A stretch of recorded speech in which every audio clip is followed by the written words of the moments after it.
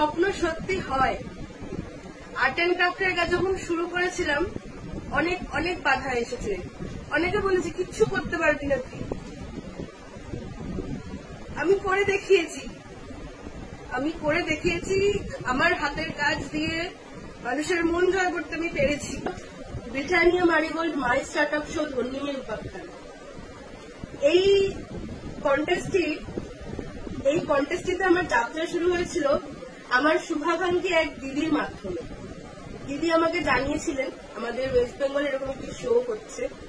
আমি কনফার্ম হওয়ার জন্য ব্রিটানিয়া বিস্কুটের প্যাকেটে এই অ্যাডভার্টাইজমেন্টটি দেখি, এই অ্যাডভার্টাইজমেন্টটি দেখি।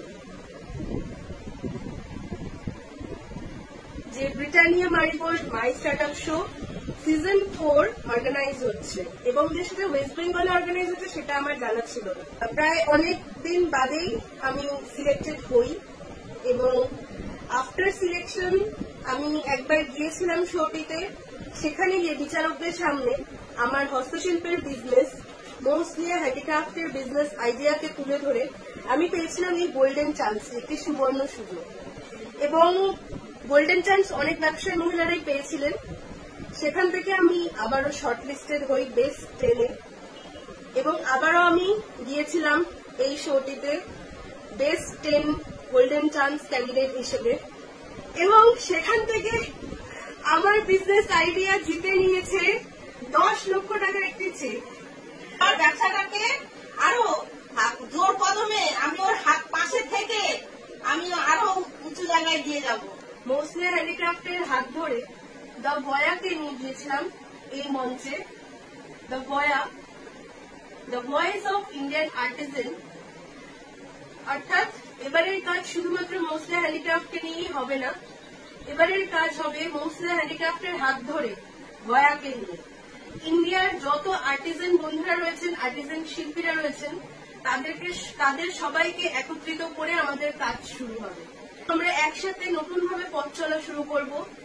যাতে ইন্ডিয়ান হ্যান্ডিক্রাফটকে আমরা অনেক উঁচুতে নিয়ে যেতে পারি। Thank you Britannia Marigold team thank you আমার মা, বাবা, বোন, আমার family thank you Shubho. Thank you দিদা, মামা, মাসি, সবাই। আর স্পেশাল থ্যাংক ইউ অভিজিৎ দাকে। অভিজিৎ দা আমার নেইবার পাশের বাড়িতে থাকেন। তো আমার বিজনেস প্ল্যানিং এ আমাকে খুব হেল্প করেছেন দাদা। প্রচুর পরিশ্রম করেছি। দাদাও প্রচুর খেটেছে। আমার কাছে কোনো কম্পিউটার নেই, কোনো ল্যাপটপ নেই। আমার আইডিয়ার উপর বেস করে দাদা সম্পূর্ণটা করে দিয়েছেন। থ্যাংক ইউ অনুপম স্যারকে, যিনি আমাকে হেল্প করেছেন। আমাদের যদি ফ্র্যাঞ্চাইজি ওপেন করা হয় একাডেমি ওপেন করা হয়, সেখানে কত স্কোয়ার ফুট জায়গায় কি কি লাগতে পারে, কি কি হতে পারে, কত কস্টিং পড়ে, এই সমস্ত কিছু বিষয়ে অনুপম স্যার খুব হেল্প করেছেন আমাকে। আমার শুধুমাত্র কল্যাণীতে না ওয়েস্ট বেঙ্গলের বিভিন্ন জায়গায় ফ্র্যাঞ্চাইজি এবং অল ওভার ইন্ডিয়ার বিভিন্ন জায়গায় ফ্র্যাঞ্চাইজি ওপেন করার জন্য একটি সুন্দর প্ল্যানিং স্ট্রাকচার আমাকে মামা রেডি করে দিয়েছে। তার জন্য অসংখ্য থ্যাংক ইউ দীপঙ্কর মামা তোকে আজকে আমার এই সাফল্যের বিশেষ ধন্যবাদ জানাই আমার এই দিদিজিকে, যিনি আমাকে প্রথম বলেছিলেন এরকম একটি শো ওয়েস্ট বেঙ্গলে অর্গানাইজ হচ্ছে। তখন আমার খুব ক্রিটিক্যাল কন্ডিশন ছিল অ্যাক্সিডেন্টের কারণে। থ্যাংক ইউ আমাদের গ্রুমার্স যারা ছিলেন, আমাদের বিজনেস কোচ যারা ছিলেন। Thank you entire Britannia team Mithu ma'am Debolina ma'am আপনাদের কাজ কোনোদিনও বলব না। আপনাদের কাছ থেকে শিখেছি কীভাবে টিম ওয়ার্ক হয় তো আমি এই জার্নিটিতে অনেক কিছু শিখেছি, অনেক কিছু বুঝেছি, জেনেছি। তার জন্য আমি সকলের কাছে কৃতজ্ঞ। আর ধন্যবাদ যোগ্য ভাই। ধন্যবাদ বর্মা ধন্যবাদ, ডাক্তারবাবু। তোমাদের আশীর্বাদের হাত সবসময় আমার মাথায় রয়েছে, আমি জানি। তোমরা সবসময় আমার পাশে ছিলে, আছে, থাকবে। তো, আমি আজকে সবাইকে ধন্যবাদ জানাতে চাই আমার এই সাকসেসের জন্য।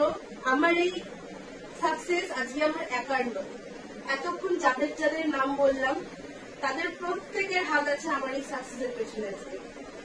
তাই অনেক অনেক ধন্যবাদ তোমাদের প্রত্যেককে।